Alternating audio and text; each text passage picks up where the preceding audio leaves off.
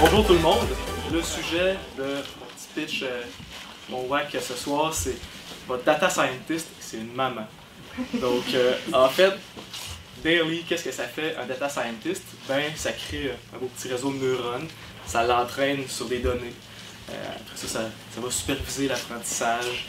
le data scientist va faire en sorte que l'apprentissage converge de bonne façon pour que le réseau de neurones artificiels puisse donner des bonnes prédictions puis euh, s'épanouir. Donc ça, c'est bien beau tout ça, mais ça coûte du temps puis de l'argent. Donc, y a-t-il quelque chose qu'on peut faire pour automatiser le processus d'être une maman ou fait un, data scientist? Donc, euh, en fait, on peut recourir au automatic machine learning. Donc, avec l'automatic machine learning, euh, ce que ça nous permet de faire, c'est d'automatiser le processus, euh, finalement, de, faire tout ça. Donc, de un, quand on définit un modèle, donc un réseau de neurones artificiels, par exemple, il faut définir des hyperparamètres. Donc, le nombre de neurones, le nombre, de, layers de neurones par-dessus l'autre. Aussi, on va définir des trucs comme le taux d'apprentissage, puis la façon que les données sont formatées pour les envoyer au réseau de neurones artificiels. Donc, tout ça, ces hyperparamètres-là, c'est bien beau. Euh, mais par-dessus ça, pour faire du automatic machine learning, on peut définir en fait un espace d'hyperparamètres. Donc le nombre de neurones varie entre ça et ça. Les données peuvent être formatées pour qu'on en envoie une quantité d'une certaine longueur ou d'un certain format qui ressemble à ça. On peut désactiver ou activer certaines étapes de pré-processing des données. Euh, donc on peut avoir un espace dans lequel, si on pige un point dans cet espace-là, on trouve un cas particulier, un peu comme sampler finalement, un gène, euh, un hyperparamètre, un, un sample d'hyperparamètre pour notre réseau de neurones artificiels. Donc, on peut, euh, avec l'automatic machine learning, finalement itérer dans cet espace-là pour piger des nouveaux points, les essayer euh, de façon un peu au hasard, mais quand même intelligente, pour après avoir fait plusieurs essais, converger vers un résultat. Donc ça, ça permet d'éviter que, un, le data scientist ait à superviser constamment le modèle puis à attendre qu'il finisse son apprentissage. Deux, aussi, ça va permettre que euh, finalement, ça peut rouler pendant la nuit. Euh, pas besoin que le data scientist soit à côté tout le temps. Ça peut rouler pendant une semaine, euh, des mois, voire pour des plus gros modèles, si on veut, ainsi de suite.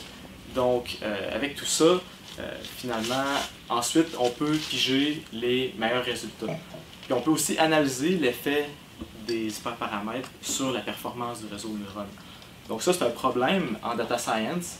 Le réseau de neurones, ou le, modèle finalement, qui va performer le mieux sur un ensemble de données, c'est pas le modèle avec le plus de neurones, ni le modèle euh, avec le, plus de tout. En fait, il n'en faut pas, pas assez non plus, il faut qu'il soit entre les deux. Il faut trouver, euh, il, y a, un trade-off entre le bias et la variance. Donc un modèle biaisé va euh, prendre des règles du pouce un peu trop stupides finalement. Euh, peut-être qu'il manque de complexité, il manque de neurones, quelque chose qui, se passe, qui n'est pas assez bien euh, dans tout ça. Puis un modèle, au contraire, qui a beaucoup de variance, ben, il y a tellement de capacité d'apprentissage que oui, il va réussir chaque exercice lors de l'entraînement, mais rendu au test, il ne va pas avoir généralisé correctement la matière de sorte. Il va comme avoir fait du par cœur finalement. Donc, il va prendre les questions-réponses par cœur, puis parce qu'il était trop intelligent, il a eu trop comme de mémoire ou quelque chose, puis rendu au test, il va, va pas avoir généralisé ce qu'il aurait dû, il, aurait été, il va avoir été lâche, puis il va euh, faire euh, des mauvais résultats. Donc finalement, ça c'est entre autres ce qu'on veut automatiser avec le machine learning, puis c'est la raison pourquoi euh, il faut avoir un data scientist ou du automatic machine learning qui supervise le réseau de neurones artificiels, puis essaye et réessaye des hyperparamètres différents. Donc, bref, ça, c'est le automatic machine learning. Euh, puis, euh, il y a différents algorithmes qui permettent de choisir le prochain point. Donc, c'est pas un vrai hasard, on peut analyser ce qu'on a essayé, les résultats que ça a donné, puis piger le prochain point dans l'espace essayé euh, en fonction de tout ça de façon intelligente. Donc, merci de m'avoir écouté.